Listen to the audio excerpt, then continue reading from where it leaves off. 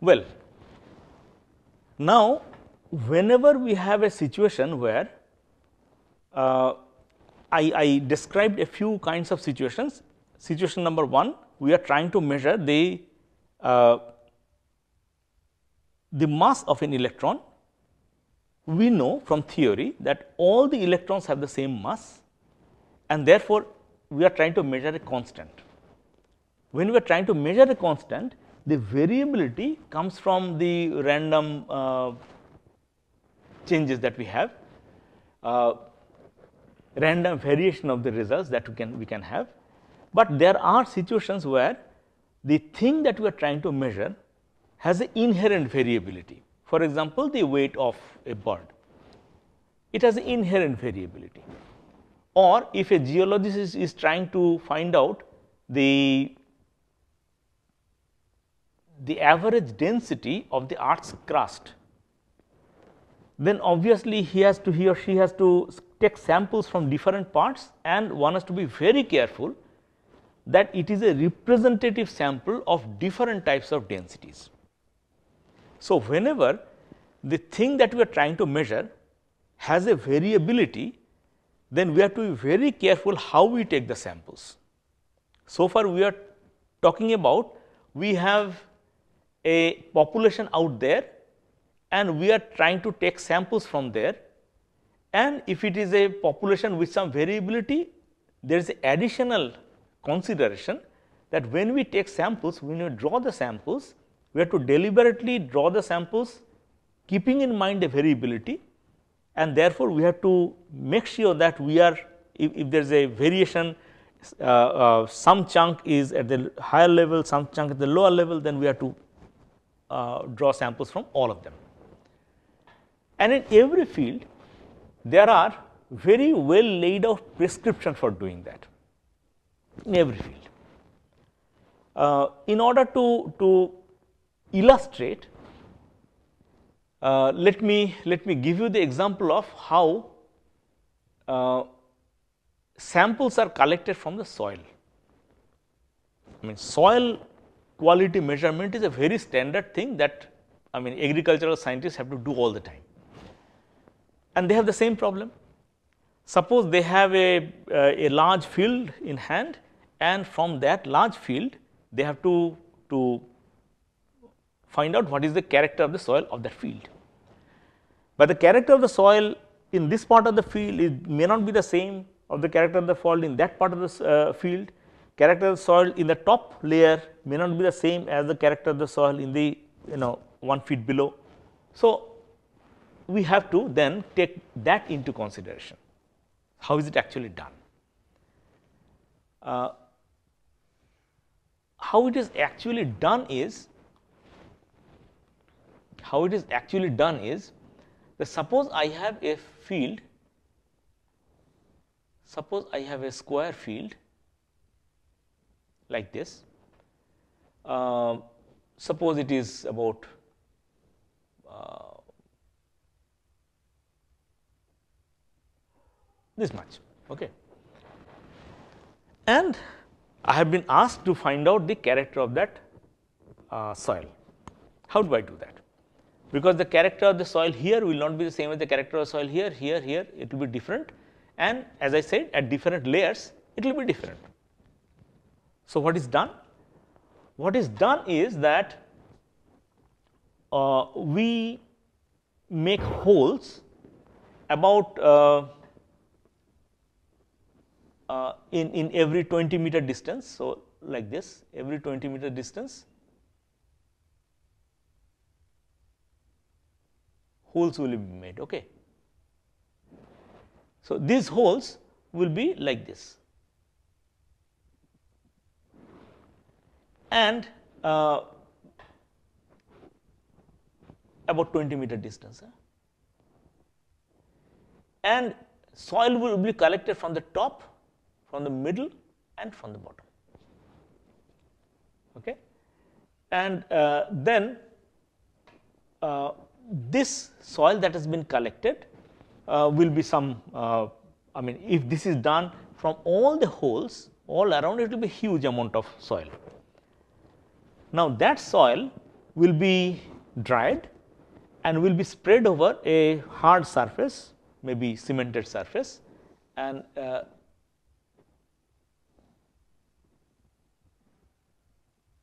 let me now use that this as the cemented surface. So, the sample is spread over the whole thing and then this is divided into 4 parts by doing like this. And then this part is this part and this part are retained and the rest thrown off. Again the soil is mixed, again it is spread uh, over the, the, the square area, again the same process is repeated that means you, you mix up everything, spread it and then you retain the main diagonals and discard the off diagonals and so on and so forth. Ultimately, you carry on this process until you have got something like 2 to 3 kgs uh, remaining. When you get the 2 to 3 kgs, remember then it has a reliable mixture, it is a reliable mixture of soil collected from all parts of the field as well as from the top, middle and bottom. And therefore, it is a reliable uh, uh, sample from the field, but after this 2 to 3 kg is obtained, it is further ground and it is sieved through a you know 2 millimeter sieve. And finally, what is collected that is what is tested. Notice what we are doing. The, the this is the standard laid out procedure for the soil scientists. Similarly, for every field there would be uh, similar procedures laid out, very well laid out procedures. And using that we collect the samples if we are we have to collect the samples from a population of humans, we know that humans can be old, middle aged, uh, children, babies, male, female. So, we have to collect from all the, the we have to make sure to collect samples from all the uh, parts of the population. So, this is very important in sampling. In any measurement, there are two types of errors. The first is random error.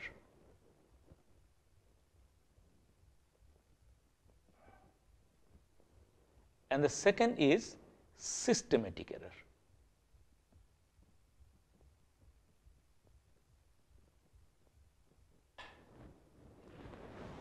Systematic errors are those which make the results that you obtain systematically differ from the actual population mean there is a value out there the actual population mean and you are trying to obtain uh, an estimate of that by obtaining the sample mean. Now, if, if there is a systematic error there would be a systematic deviation from of the sample mean from the population mean. That can happen uh, due to various reasons, but this is something that we have to somehow uh, figure out and eliminate. Because if a systematic error remains, then the results will definitely be wrong. But random errors generally cannot be avoided. Random errors happen because of you know thermal fluctuations and uh, effects like that, which are not within our control. Therefore, a scientist has to learn how to sort of take stock of the random errors. So, systematic errors can be eliminated but random errors normally cannot be eliminated. So, a scientist has to learn to live with random errors. Systematic errors will depend on the area in which you are working. The systematic error for a physics experiment might not be the same as the systematic error for a earth science experiment for example. So, different areas, different fields will have different instruments used and different systematic errors. But nevertheless, scientists have two general prescriptions of getting rid of systematic errors. The first is calibration.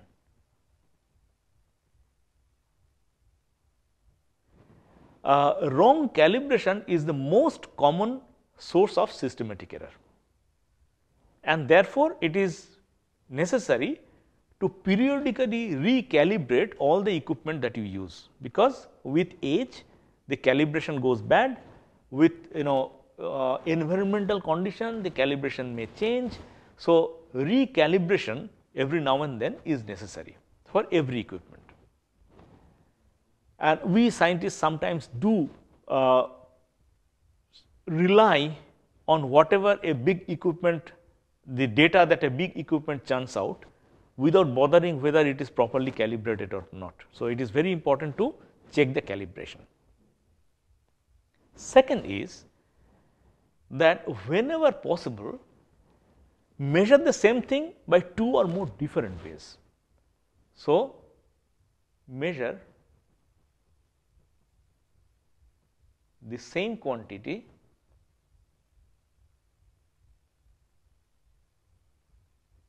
by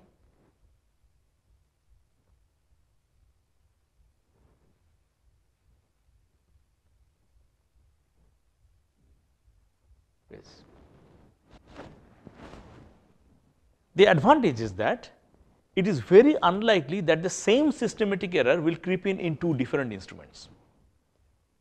Two different methodology means you will use two different equipment and it is very unlikely that the same systematic error will creep in. So, if you get the same you know uh, results within some uh, tolerance then you know that your result is reliable. But if you, you if you measure by two different two or more different uh, methods of measurement and you get substantially different results, you know that there is a systematic error somewhere and you have to take care of that. Okay. So, generally in order to avoid systematic errors, these are the two general prescriptions. But for every field, the source of systematic error will be something and you need to uh, figure out depending on the character of that particular field.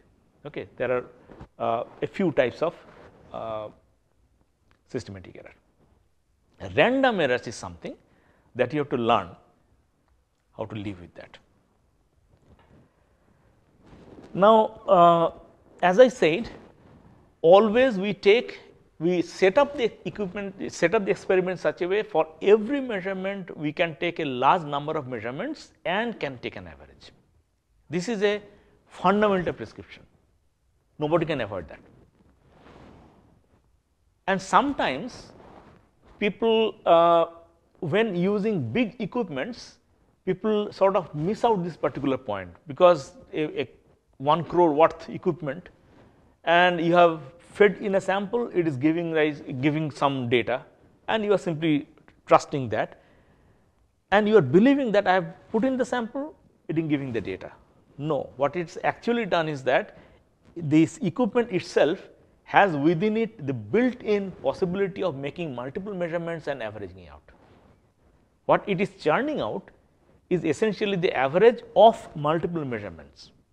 So, always remember that without multiple measurements and taking the average, you cannot get rid of the, the random errors.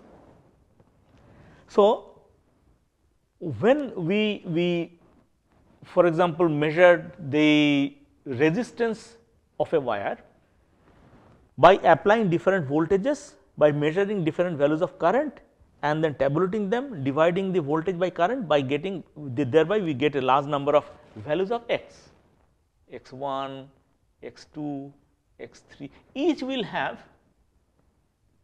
a random error in it. But the random errors in some cases will be positive, in some cases will be negative and therefore, when you actually do the act of averaging then the positives will cancel out the negatives and ultimately the, the, the effect of the random error will cancel off. That is what the naive belief is. Okay. I mean common sense logic will say that, that if you have positive errors as well as negative errors, then obviously the positives will cancel out the negatives and ultimately you will get a reliable mean value.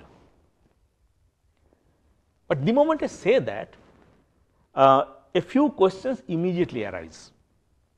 And now, before we end today's class, let me enumerate the questions that immediately arise. For example, how many observations should we take in order for the result that we get to be reliable? The common sense does not immediately tell us any, any estimate of how many readings should we take. Okay? We actually get a large number of values x1, x2, x3 each value is different. Out of that which one should we state in a paper? Okay? That is as, as a measured value. How, how, how do we state it? Uh, how reliable will be that measured value?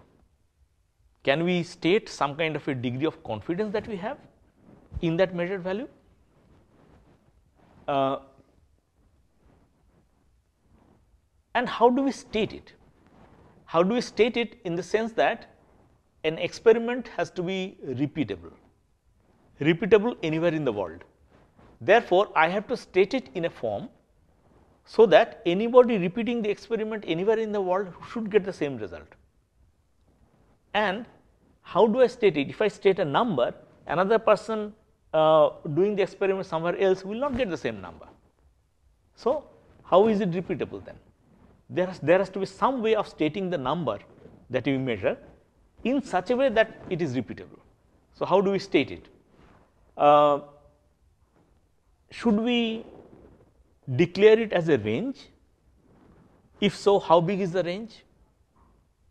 And so, you know that we always use something called the error bar. How big will be the error bar? How do we decide how big the error bar will be? Uh, and uh,